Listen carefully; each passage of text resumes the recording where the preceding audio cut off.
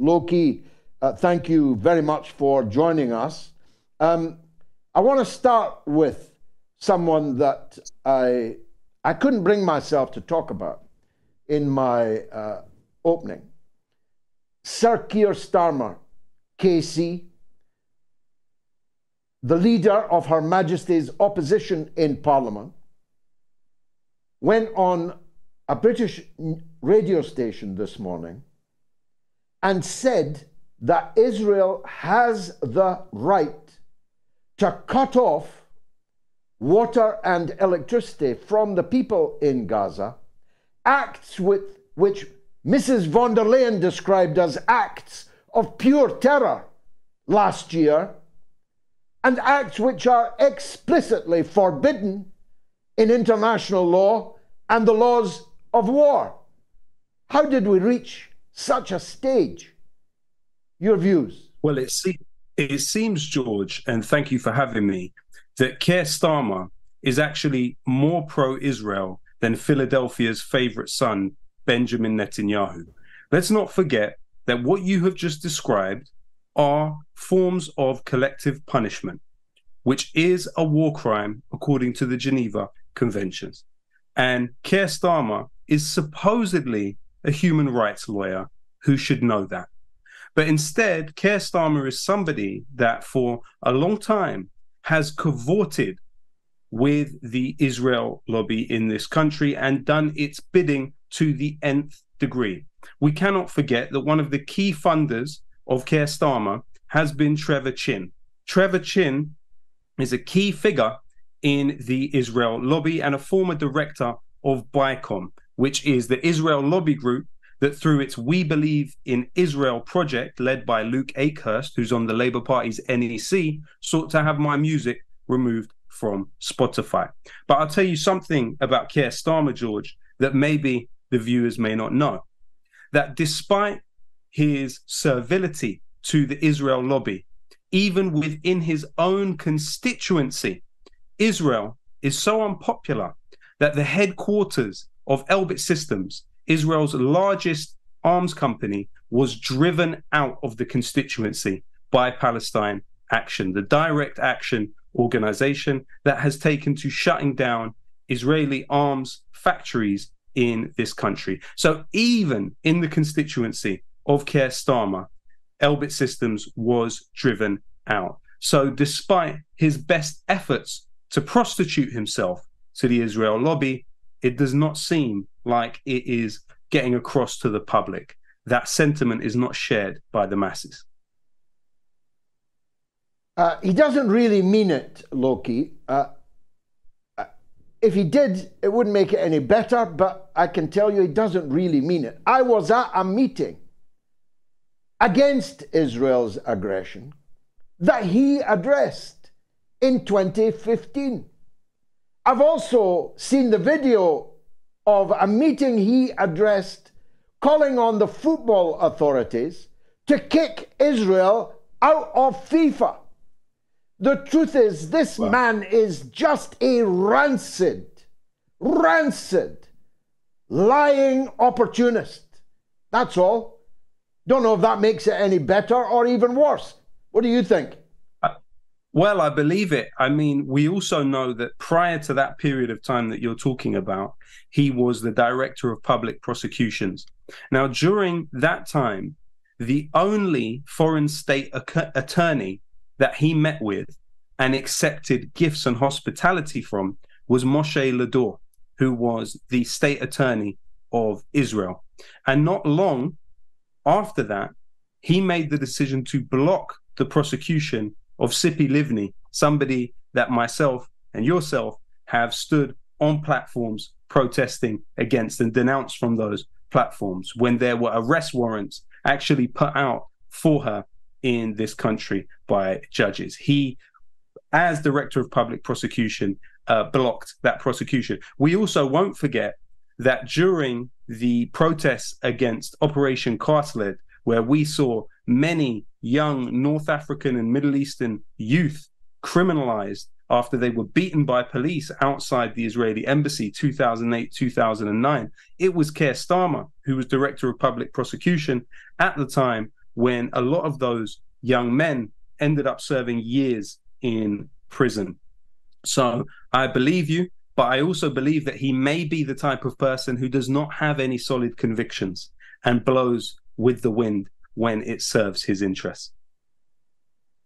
Well, speaking of blowing with the wind, uh, the first time I ever came across white phosphorus, I was in Beirut in 1982 when Israel invaded Lebanon in what they called Operation Grapes of Wrath. And the Times, as was then, had the peerless Robert Fisk as their correspondent on the front line. How times have changed. And Robert Fisk wrote a piece about the effect of white phosphorus.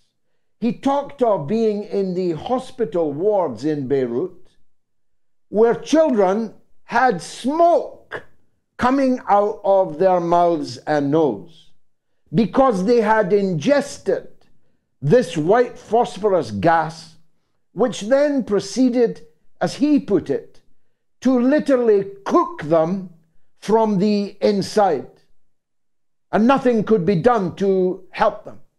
They burned to death from the inside from the white phosphorus, which is now a war crime officially to use against civilian targets. But Israel is now not only using white phosphorus in Gaza, it was using it again in Lebanon yesterday. And I haven't seen that even reported anywhere. Your thoughts? Well, let's be clear.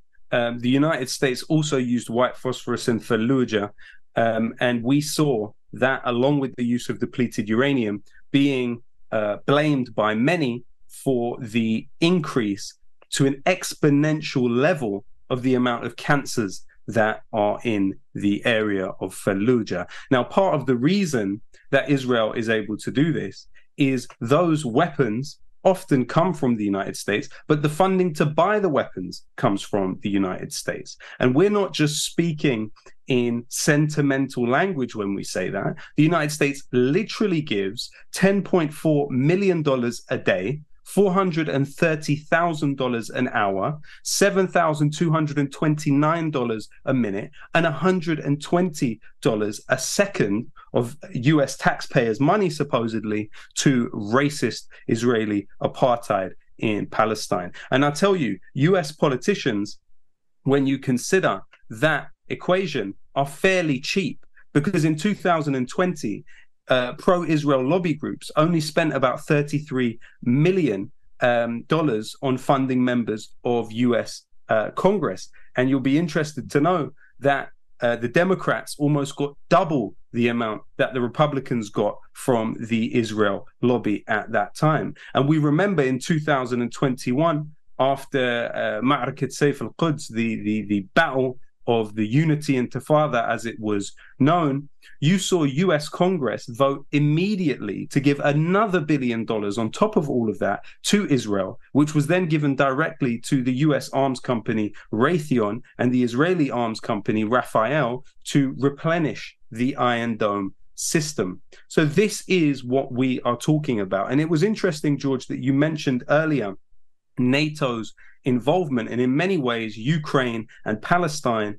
are now front lines of NATO's war against the global south. But Israel is believed to have carried out assassinations in at least 18 other sovereign states, from Italy to France to Cyprus to Greece to Norway to Germany to the UAE to Egypt to Jordan to Uruguay, Lebanon, Brazil, Tunisia, Belgium, Malta, Malaysia, Syria, Iran, Several of these states are NATO nations, but yet they do not believe in their own sovereignty to the extent that they would back Israel in the way they would do, despite the fact that Israel is believed to have carried out assassinations on their soil. You're a Rolls Royce uh, of a young man. I'm sure everyone else that's watching is thinking that too.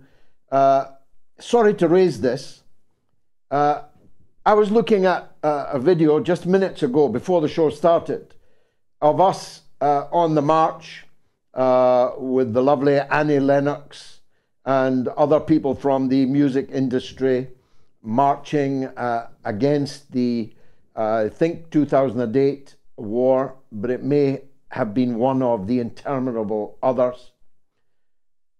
But the music industry today was summed up by Justin Bieber, who, thanks to you, I know, put out a tweet with a picture of the destroyed Gaza with the words, I stand with Israel on it. He thought the picture was Israel, but was in fact the handiwork of Israel in Gaza. What's happened to the music industry, the cultural milieu, because from what I can see, even the right wing, so called right wing populists demanding freedom of speech and freedom not to wear a mask and all of that, they have all fallen in behind the drums of war and genocide.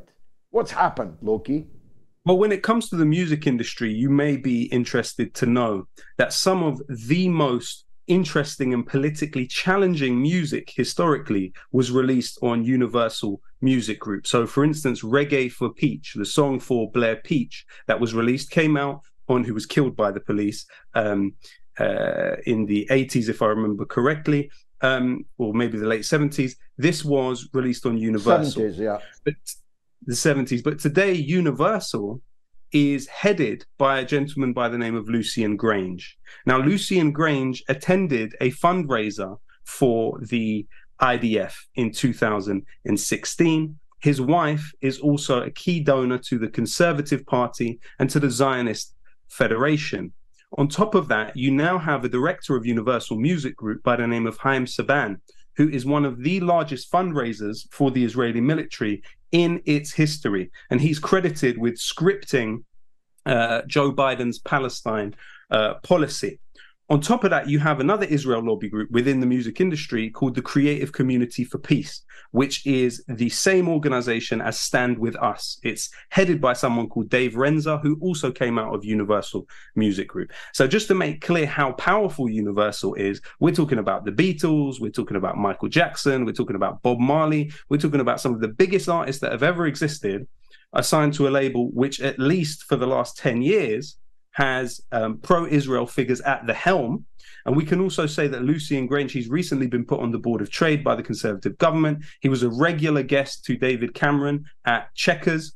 Um, and Lucian Grainge has so much power in the music industry that in 2019, he earned in bonuses in one year as much money as all UK songwriters made off of streams in one year.